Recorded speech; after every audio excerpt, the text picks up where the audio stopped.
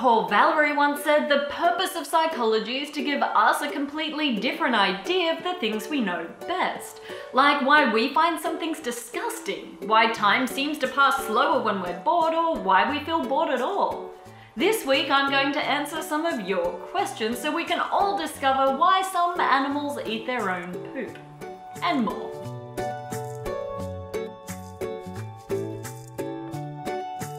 Why does your stomach hurt when you see something gross?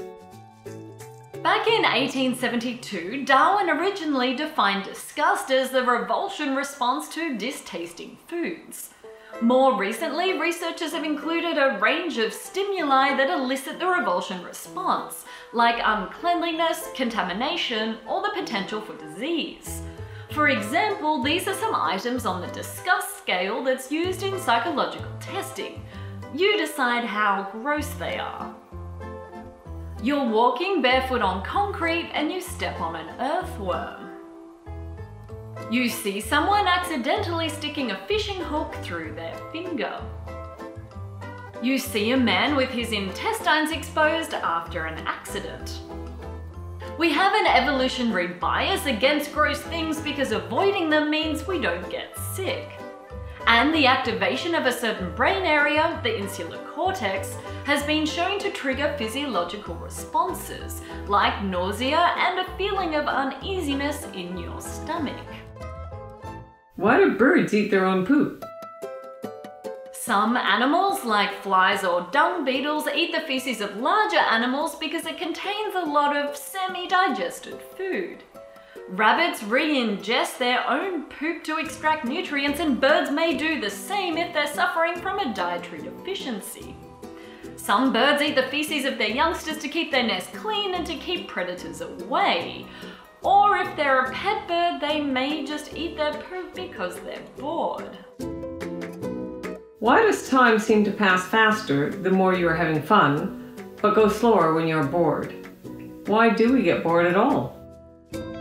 It's been said that having too little stimuli undermines our dopamine and attentional systems crucial to maintaining brain plasticity.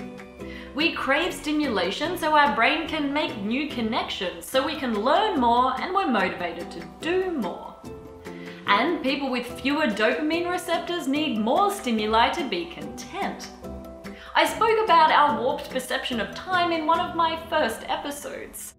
On some occasions, time seems to fly, like when you're so close to a game's next level. But other times it slows to a crawl, like that moment before your first kiss. Of course, the rate at which objective physical time passes is always constant for you, unless you're moving at a fraction of the speed of light, but it certainly doesn't feel that way. Your perceived duration of events changes depending on your age, emotional state, body temperature, and the movement of objects. When you're bored, the lack of stimuli probably causes time to drag on. And for everything about boredom, there's always Vsauce. Where did you buy your necklace? It's awesome. Smiley face. Thanks for all the nice comments. I bought it from a flea market, but someone has kindly found a similar version on Etsy, so there's no need to tear up. Why are tears salty? Actually, all of the fluids in your body are a little bit salty. Like blood, sweat, and tears. In each of our teardrops, there's roughly 2 to 3 grains of salt, which acts as an antiseptic to prevent infection. But there's more in our tears than just water and salt. Research has found that emotional tears, different to tears from chopping up an onion, contain more protein-based hormones. And you can even buy salt made from human tears. Nah. Why did you decide to study psychology and neuroscience? And what prompted you to start the Braincraft channel?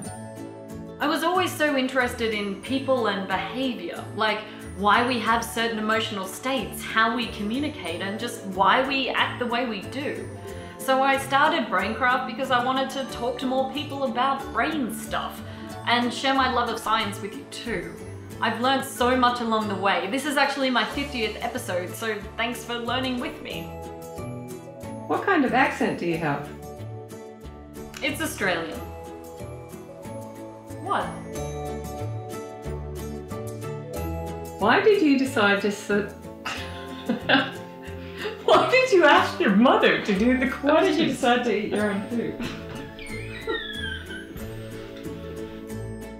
I actually film by myself, so Hugh here helps me focus.